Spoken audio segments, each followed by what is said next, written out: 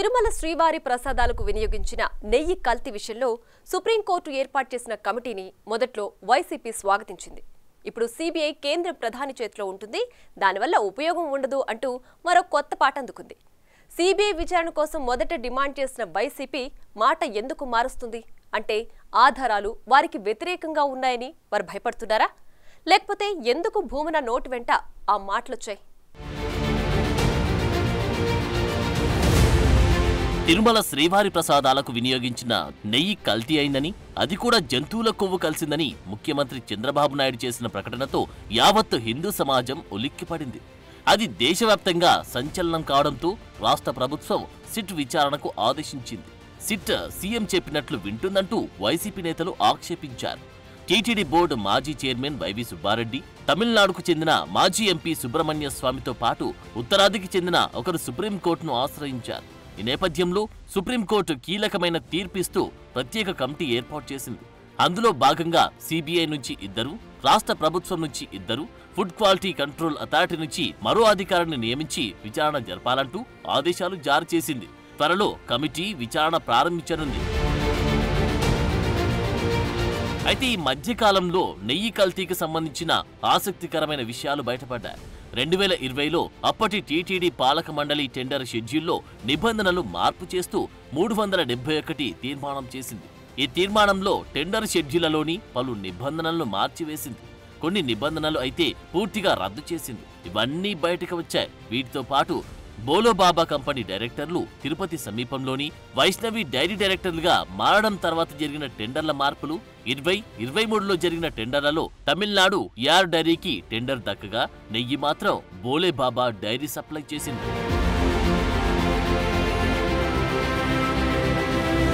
దానికి సంబంధించి వేబిల్లతో సహా ఆధారాలన్నీ వాణిజ్య పనుల శాఖ నుంచి ఇప్పటికే విజిలెన్స్ సేకరించినట్లు సమాచారం. జూన్ జూలై నెలల్లో ఎనిమిది ట్యాంకర్ల నెయ్యి టీటీడీకి యార్ డైరీ నుంచి వచ్చినట్లు రికార్డులున్నాయి. అందులో జార్ఖండ్ నుంచి బోలేబాబా డైరీ నెయ్యిని వైష్ణవి డైరీకి పంపడం వైష్ణవి డైరీ నుంచి యార్ డైరీకి వెళ్ళి అక్కడి నుంచి ట్యాంకర్ తిరిగి తిరుమలకు చేరిందని సంబంధిత ట్యాంకర్ నెంబర్లతో సహా వాణిజ్య పనుల శాఖ దగ్గర ఆధారాలు ఉన్నాయంటున్నారు. తర్వాత ఎందుకు దిండిగల్లోని యార్ డైరీ వద్దకు వెళ్ళాలని అనుకున్నారు ఏమో మూడు వేల మూడు వందల కిలోమీటర్ల దూరంలోని బోలోబాబా డైరీ నుండి నేరుగా వైష్ణవి డైరీకి వైష్ణవి డైరీ నుంచి అరవై ఐదు కిలోమీటర్లలోని తిరుమలకి తీసుకొచ్చారని తేలిందంటున్నారు. ఆ తతంగం కూడా జీపీఆర్ఎస్ ద్వారా రికార్డైందంట. మొత్తం మీద రల్లీ జరిగిందనడానికి ఆధారాలన్నీ పక్కాగా ఉన్నట్లు కనిపిస్తోంది. ఈ పరిస్థితుల్లో టీటీడీ కల్తీ నెయ్యి విషయం మీద సుప్రీంకోర్టు కమిటీ వేయాలనుకోవడం వేగంగా జరిగిపోయాయి.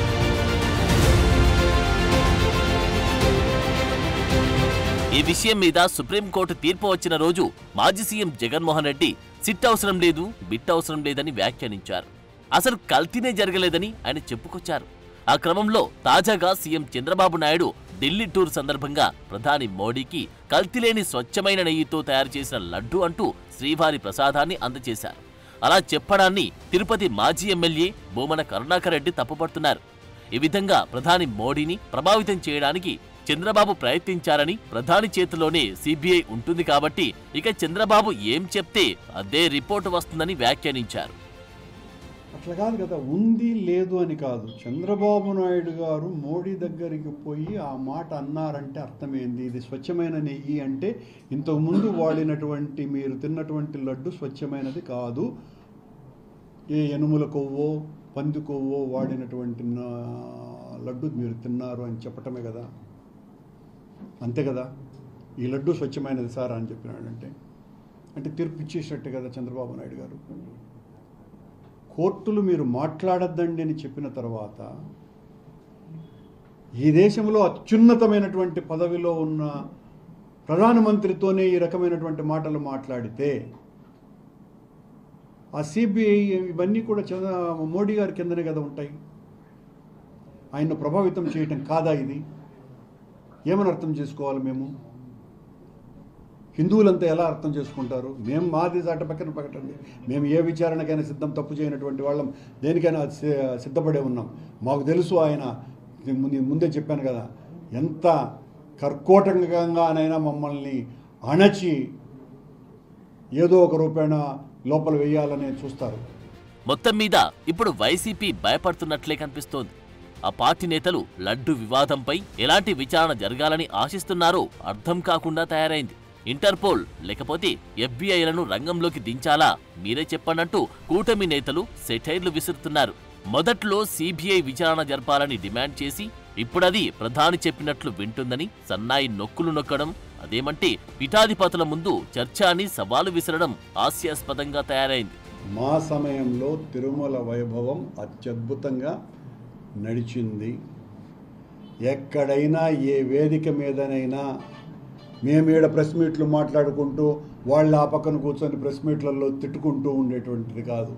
నేరుగా కూర్చొని పెద్ద మనుషుల సమక్షంలో ఆ మాటకొస్తే పీఠాధిపతుల సమక్షంలో ధర్మ పరిరక్షణకు నడుం బిగించినటువంటి జగద్గురువుల సంరగ సమక్షంలో చర్చించటానికి మేము సిద్ధం. ఈ సవాలును స్వీకరించి ఆ వేదికను తయారు చేయమని చెప్పండి. మా కాలంలో వైభవం తగ్గిందా పెరిగిందా అన్నది చెప్తాం. మరి ఈ విచారణ తతంగం ఎప్పటికి ముగుస్తుందో కానీ వైసీపీ నేతల్లో అభద్రతా భావం పెరిగిపోతుందన్న అభిప్రాయం వ్యక్తమవుతుంది.